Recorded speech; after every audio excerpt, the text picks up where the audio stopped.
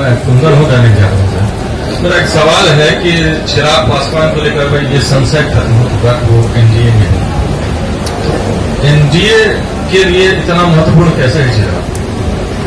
अब ये तो जाकर एनडीए वालों से पूछिए कैसे महत्वपूर्ण देखिए। जिस भाजपा को आप लोग इतना ताकतवर समझते हैं ये देश मान रहा है अमित शाह मोदी वगैरह।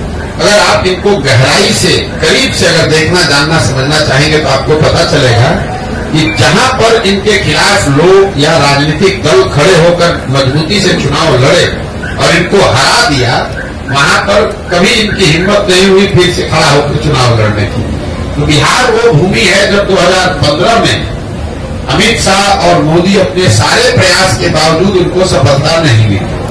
और वो जो डर है वो इतना बड़ा डर है हारने का जब आपको ज़्यादातर जगह पर आसान जीत मिलती है तो कहीं पर जब आप हार जाते हैं तो आप उससे डरते बहुत ज़्यादा तो कहीं ना कहीं भाजपा को ये डर है, भाजपा की लीडरशिप को, कि बिहार की जो राजनीतिक मैं कहूँगा पृष्ठभूमि है, यहाँ का जो सोशल फैब्रिक है, जो यहाँ समाजवाद की जड़ें हैं, वो इतनी मज़बूत हैं या इतनी गहरी हैं कि भाजपा के लिए इतना आसान नहीं है कि पूरे बिहार को अपने एक मोदी के स्लोगन पर जीत लिया जाए, ऐसा उनको लगता है। सच्चाई क्या है, ये तो भगवान जाने। लेकिन ऐसा उनको लगता है। इसीलिए वो इस तरह के गठबंधन, जैसे नीतीश कुमार के लिए अभी कुछ महीना पहले आकर, यही अमित शाह ने मंच से खड़े होकर कहा कि बिहार की जनता एक एक आदमी सुन लीजिए, चुनाव या चुनाव चुनाव से पहले या बाद किसी भी हालत में नीतीश कुमार को वापस नहीं लिया जाएगा। इनके लिए भाजपा के दरवाजे हमेशा के लिए बंद। वही अमित शाह, जो इतनी बड़ी बड़ी बात बोलते हैं, ये लोग दावा करते हैं, हम 400 सीट जीतेंगे। नीतीश कुमार जैसा आदमी जो कि बिहार में रहने वाला साधारण राजनीतिक समझ रखने वाला आदमी भी जानता है कि नीतीश कुमार के राजनीतिक वजूद बिहार में अब कोई बहुत मज़बूत नहीं है।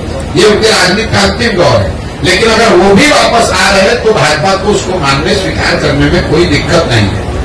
तो ये इसकी वजह यह है कि बिहार की राजनीतिक भूमि को भाजपा इतना आसान मानती नहीं है। चाहे वो चिराग हो, उपेंद्र कुशवाहा हो, मांझी हो, नीतीश हो, चाहते हैं कि जितने लोगों को साथ में रखे ताकि ये खतरा ना हो कि कहीं चालीस में दो चार तो पाँच सीट का नुकसान हो जाए। और दूसरा, ये बिहार के लोगों का दुर्भाग्य रहा है कि ये 40 सीट जो है, इसके लालच ने बिहार को बर्बाद कर दिया। विश्व के स्तर पर अफ्रीका के बारे में बात कही जाती है कि अफ्रीका के जिन देशों में बहुत ज़्यादा खनिज है, वहाँ पर सबसे ज़्यादा गरीबी है। तो उसको मिनरल कर्स कहा जाता है, क्योंकि वहाँ इतना खनिज है कि उसी को लूट, लूटने के लिए, उससे कमाने के लिए दुनिया भर के लोग जाकर वहाँ लूटपाट मचाते हैं। उसी तरह बिहार की हालत है। बिहार से 40 सांसद जीत कर जाता रहे, उसके लिए राष्ट्रीय दल, पहले कांग्रेस और अब भाजपा। ये कुछ भी करने को तैयार आपने देखा कांग्रेस का जब शासन था, इसी कांग्रेस ने बिहार को लालू जी के हवाले करके छोड़ दिया। उनको ऐसा नहीं कि मालूम नहीं है कि बिहार में कितना बड़ा जंगल राज लालू जी के टाइम में था। ऐसा तो नहीं मालूम है कि लालू, उनको कांग्रेस को पता नहीं था कि बिहार सबसे गरीब और पिछड़ा राज्य था। मनमोहन सिंह जी इतने बड़े इकोनॉमिस्ट थे, उनको ये पता नहीं था कि बिहार में कितनी परेशानी बदहाली है। इसके बावजूद उन लोगों ने लालू जी को अपने कंधे पर बैठा कर रखा।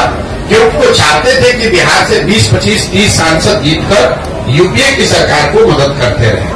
तो जो काम कांग्रेस ने लालू जी के साथ किया वही काम आज भाजपा नीतीश के साथ कर रही है कि नीतीश को साथ में रखो चिराग को साथ में रखो इन लोगों की मदद से 30 पैंतीस सांसद हम लोग का जीत कर जाता रहे।